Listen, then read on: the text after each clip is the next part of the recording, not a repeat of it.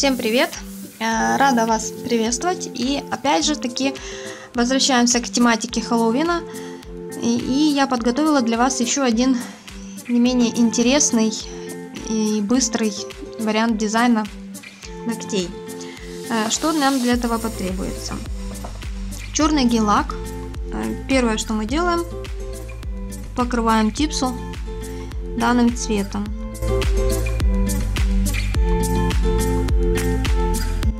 Цвет нам необходимо положить максимально плотным слоем,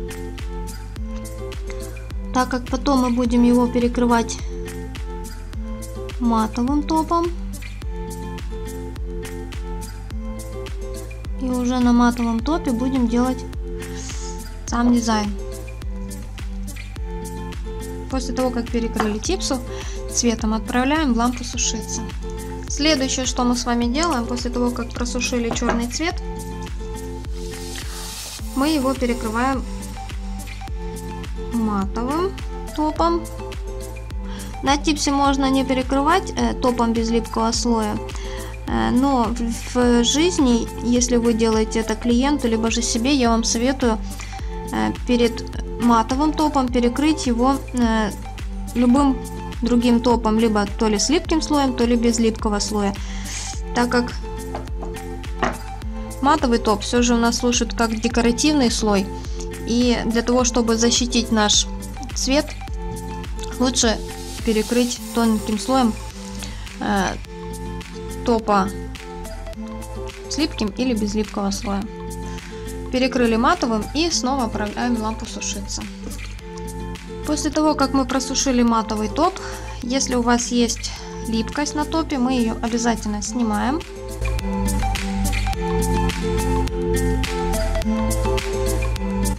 И затем следующим этапом, что мы будем делать, это берем черную гель-краску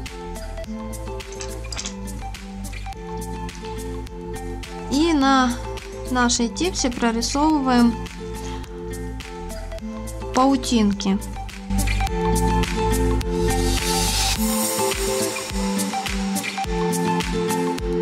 Примерно как вы это видите, как вы хотите это видеть, так и рисуете. То есть э, какой-то определенной схемы прорисовки паутины тут нет.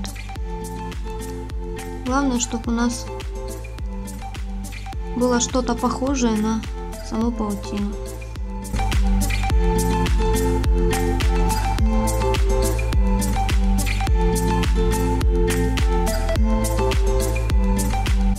Когда мы наставили определенное количество полосок,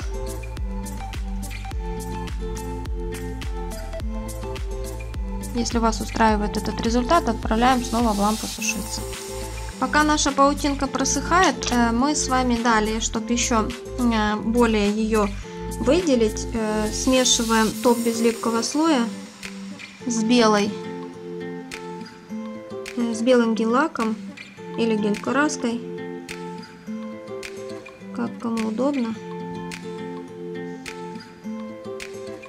И будем еще поверх черной паутинки прорисовывать полупрозрачную белую. Берем нашу типсу и добавляем еще белых паутинок.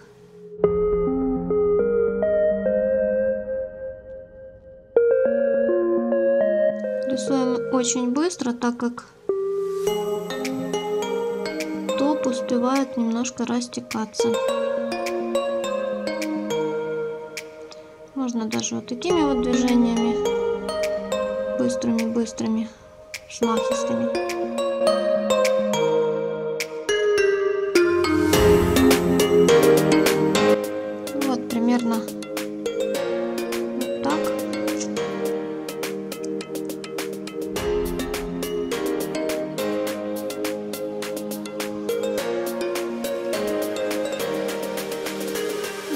Отправляем снова на финальную просушку.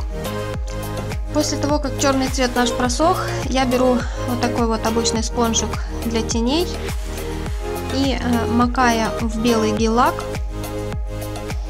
такими вот набивистыми движениями э, делаю подмалевок под основу нашего паука.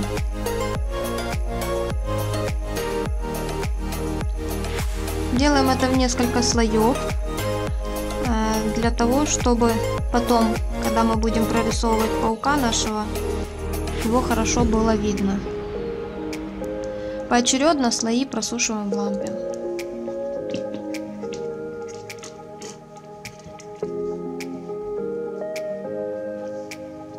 Буквально несколько секунд для того, чтобы цвет закрепился. И еще добавляем белого.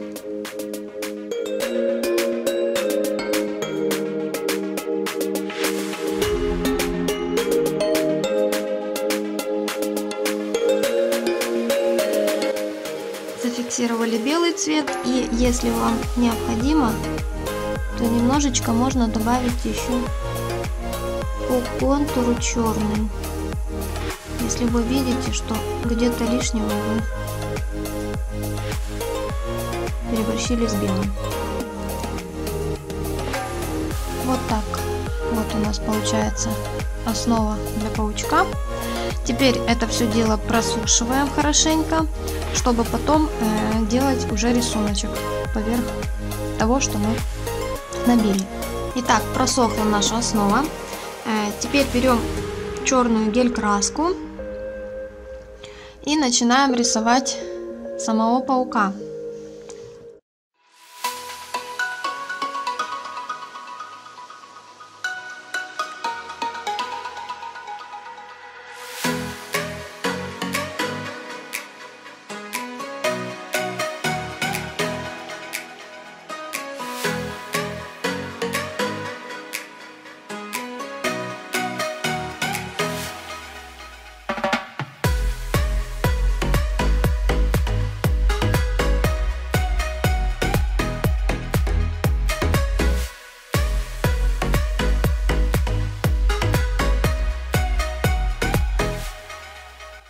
Основу тела прорисовали черным цветом, э, гель-краской и просушиваем. Затем возвращаемся к нашему белому цвету. Стопом смешанным полупрозрачному.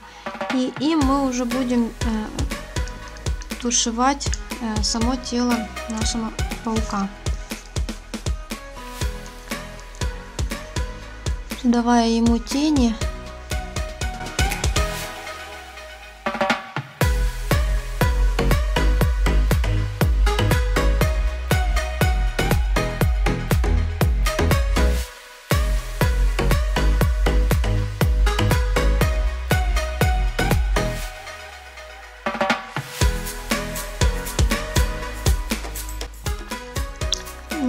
данном этапе я делаю прорисовочку кисточкой Рублев 2.0.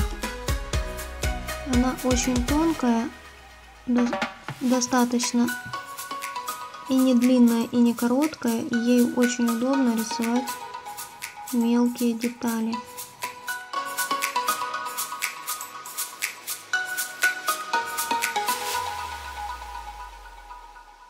Снова просушиваем после того, как добавили тени. Затем берем немножко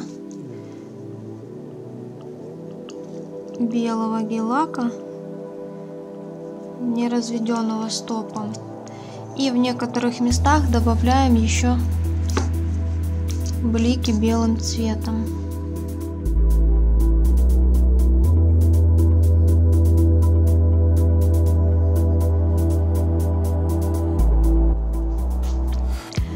Далее, когда уже просох наш э, паучок со всеми тенями, э, я еще хочу добавить э, разведенных серебристых голографических блесточек с базой на само тело паука, чтобы его дополнительно еще само тельце выделить и голову.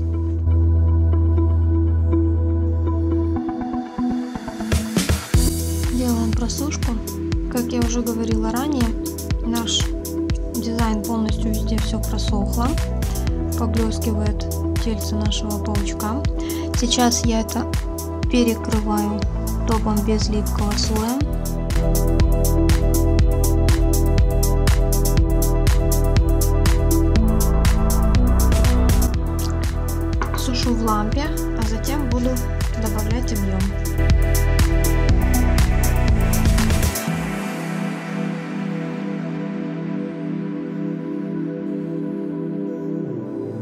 Образом мы создаем эффект присутствия нашего паука на ногте. И э, ко всему прочему у нас еще э, получается выделить саму внутреннюю прорисовку и с помощью капли 3D топа также выделить наличие самих блесточек на его брюшке. Добавляем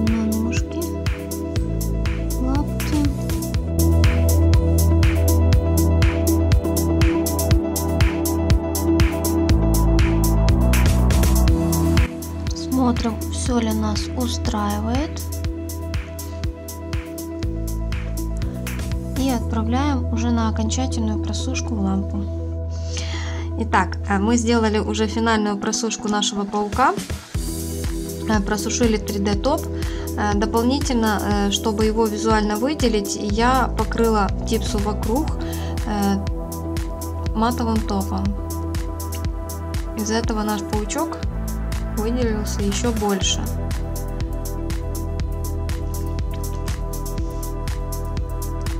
Вот так он смотрится вместе с паутинкой. Можно сделать паутинку на одном ноготке потом, либо же на двух ноготках. Можно такую же часть паутинки добавить сверху к паучку, то есть поиграться и сделать дизайн уже на свой вкус. Если вам понравилось, ставьте пальчики вверх, подписывайтесь и до скорых встреч. Пока-пока.